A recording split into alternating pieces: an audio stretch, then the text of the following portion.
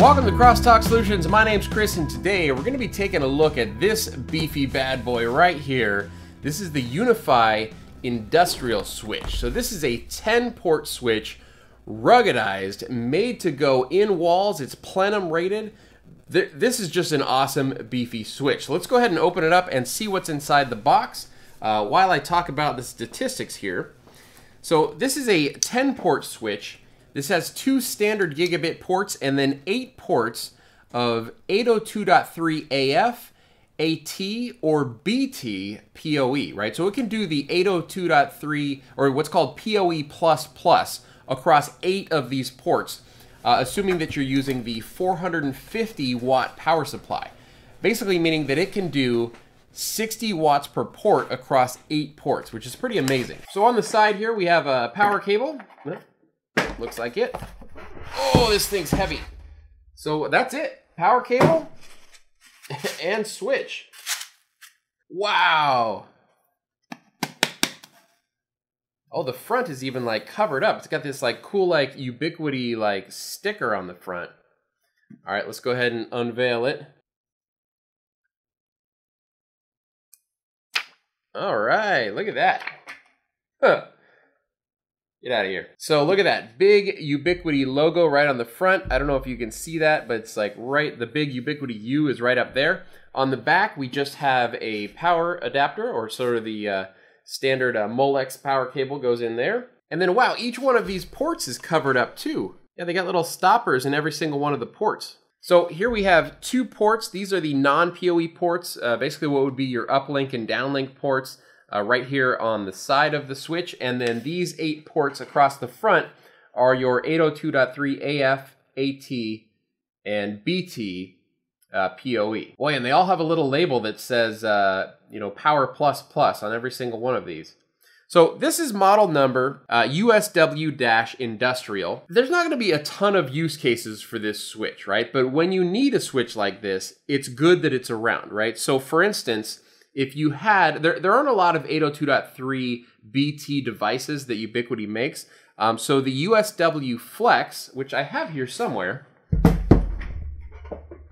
Yeah so this guy so the usw flex is a switch that can take 802.3 bt power in and then it can output 802.3 af or at across all of these other ports. So if you guys remember the video that I did on this uh, USW Flex switch, uh, this is made to go outdoors and I was having trouble powering devices with this thing because I was only using 802.3 AT.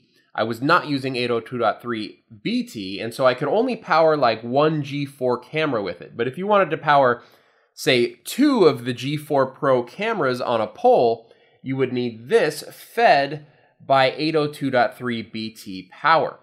So you get all 60 watts into this guy, and then you can power a bunch of devices off of the ports on the uh, USW here, the USW Flex. All right, so we'll put that off to the side here. So with this switch, you can, oh man, this is heavy. With this switch, you can also power the UniFi Base Station XG, which is sort of that flat panel access point that's made for like stadiums right? So imagine that you were going to do a stadium and you had like four or five of those base station XGs sort of pointing at different areas of the crowd. You could use one of these to power up all of those. So basically put this up in the rafters somewhere and then power all of those base station XGs. This also works with the UniFi XG access point, which is like the big daddy sort of standard form factor UniFi access point. On top of that though, this will auto sense 802.3 AF, AT, or BT, so you can power a ton of the AT devices off of this too. So that's like the LED panels, uh, the G4 Pro cameras, the in-wall HD access point, uh, as well as the HD access point and the EDU access point. All of those can easily be powered by this thing. Uh, in fact, you could have all eight ports populated and still power those devices. Now, this is not cheap. Okay, so the MSRP on this guy is $499, right? So basically 500 bucks. Amazon right now has it for $506.15. There's a link down below if you want to check it out.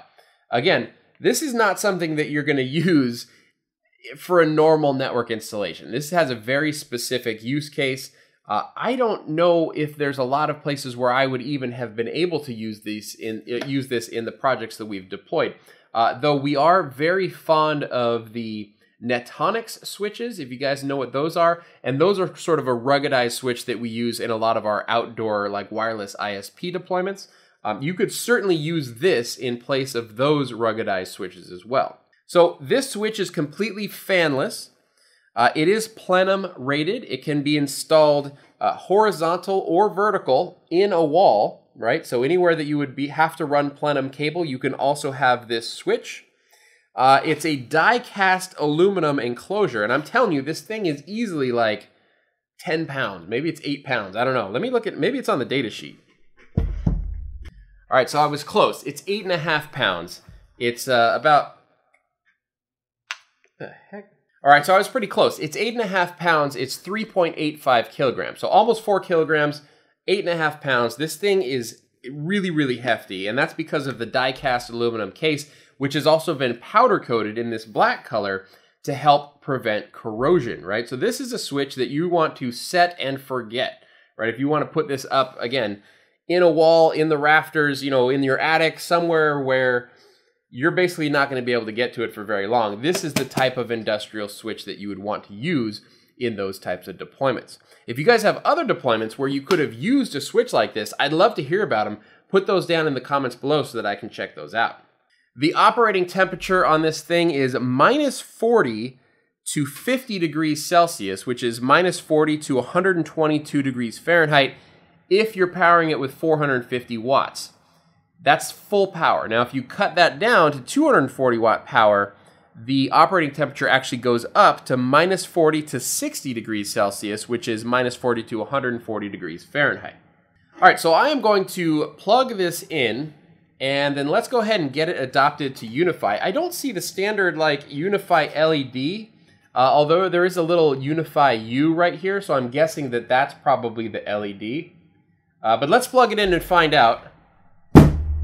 Yeah, this thing is hefty.